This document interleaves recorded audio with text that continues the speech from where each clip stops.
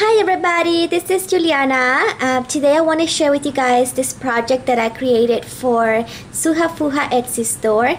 I'm so super excited to be designing for her and have the opportunity. So I wanted to share with you guys this shabby chic looking sign that I made using some of her gorgeous trims and laces. And if you haven't checked out her Etsy store, I'll put the link below. But she just has amazing trims, you guys. Very awesome unique trims so um, I will put the link below and I will share with you guys some of the trims I use for this sign so let's see. First I'll start here on the top. I've been um, I got a couple of the Melissa Frances hangers a while back.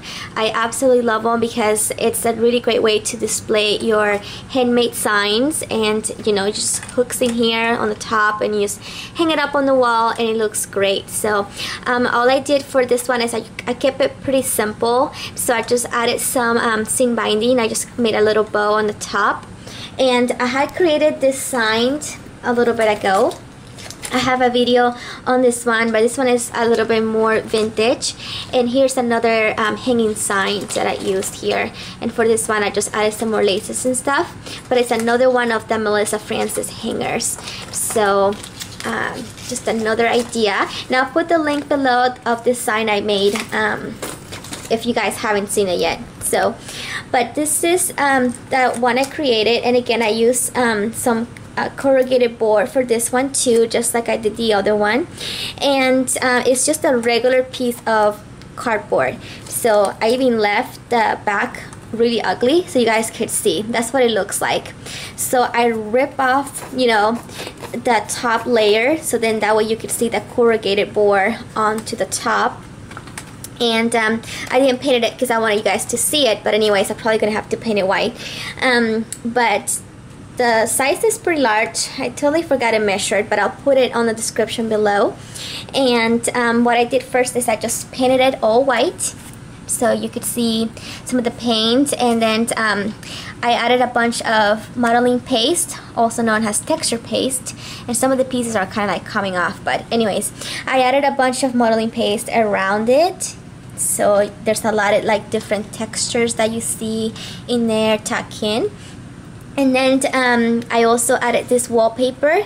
This is actually wallpaper you guys. I had purchased this wallpaper at a vintage shop and it was so cool because it has like that cool like um, background texture already in it and it's kind of like very shabby looking. I just absolutely love it. So I added that on the back and then this little um, frame here I had purchased at the thrift store last year I believe. And it's made out of like plastic or something and it used to be gold. So all I did is I just painted it with um, like this vintage white acrylic paint all over it because I didn't want it to be gold. And then oh, it already had this image of these two beautiful little angels inside so that was like the main focus. And here you can see a butterfly applique from Suhafuha Etsy store. Really gorgeous detail butterfly. I absolutely love it. So I added that here on the left. And this is one of the Prima little resin pieces that I added on the top. And then um, around the corners I tuck in some regular uh, lace fabric like underneath. And then I use two trims two colors from Suhafuha's Etsy. I used this one. So all I did here is I cut one of the little flowers and then I cut it in half. So you could see just half of it half of it there. And then the other one I use is this one too. And it's absolutely stunning. I love this color so so much. This one is like a really nice vintage pink so again I just cut half of it. So it's like half and half because it's kind of tucking underneath the wallpaper. So I did that pretty much in each corner of the sign. Here's another side and the bottom side as well and more of the lace trim. And then uh, here I decided to make a handmade flower. So I used the same lace fabric to kind of layer my handmade flower underneath. And then I cut out three of these flowers from the trim and then one of this one.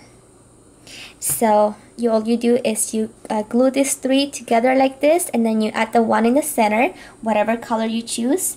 And then I added this beautiful charm from Suhafuha's Etsy store as well. It's absolutely stunning and I think she sells this in sets of two or three I'm not quite sure but um, it's really really beautiful and it makes a great uh, flower centerpiece.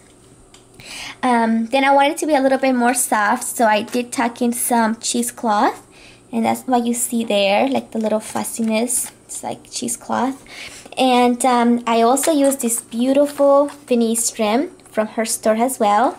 It has like these cute like little bows and when the sign is hanging on the wall this kind of moves so it adds a lot of movement to the sign which is pretty cool so love love that and then um, here I added some vintage buttons just from my stash that I've been kind of collecting. So that is pretty much the sign, you guys. This is what it looks like from far away here with the hanger. And so it's kind of sunny and um, my little kitty is in there, you guys. Look at him. Or her, I guess. Her name is Cookie. Say hi. It's my little kitty. But anyways, that's what you see there. Um, but yeah, this is the sign. I hope you guys like it. I will put the link of her store below. Thank you so much, you guys, for watching again. And please be sure to check out her store. Um, I'll be sharing with you guys a couple of more projects for her. So I'll be seeing you all soon. Have a great day, everybody. Bye-bye.